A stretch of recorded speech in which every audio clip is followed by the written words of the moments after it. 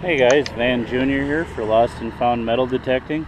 And sorry for all the noise, but I'm right next to the highway here at the local beach.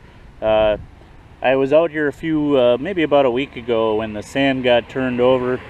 And I was hoping to get in a little hunting then, but I kind of got chased out by the uh, city crew that was trying to plow off the bike path that had been covered in probably about a foot of sand. But uh, right here, about two inches down, I was surprised to find a 1951 wheat penny.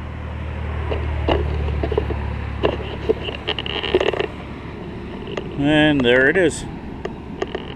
See if we can get an angle here in the sun.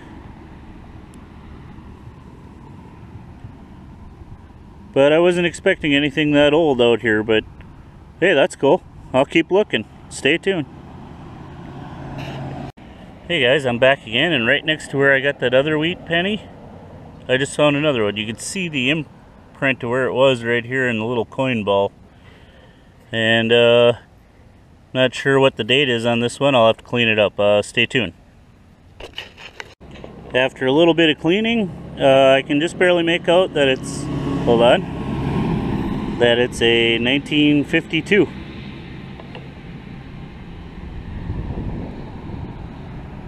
Stay tuned. And first quarter of the day is the FU mark, 65. I actually nicked it with my shovel, but glad it wasn't silver.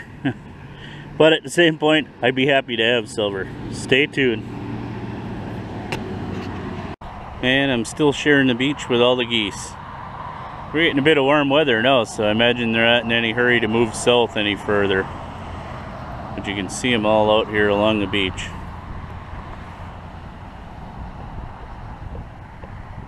Yep, just hanging out. Nice day today. Stay tuned. Hey guys, I just found another wheat penny. This one's uh, 1945. See if we can get that sun. And it was only about maybe, oh, three inches down which I'm surprised. I didn't expect to find anything older here today, but cool. Stay tuned. Give you another shot here. This is the area I'm working today, right here along the beachfront. And lots of geese. Lots of traffic too in the background. Sorry for all the noise.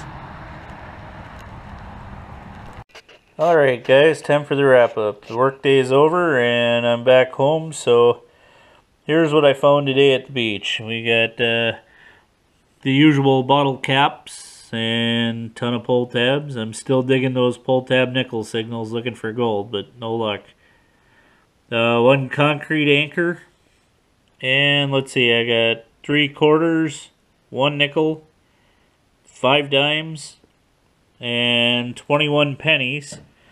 And the best of it today was I got three wheat pennies. 1945, a 51, and a 52. There you have it. And thanks for watching, everybody. Good luck to all of you, and uh, happy hunting.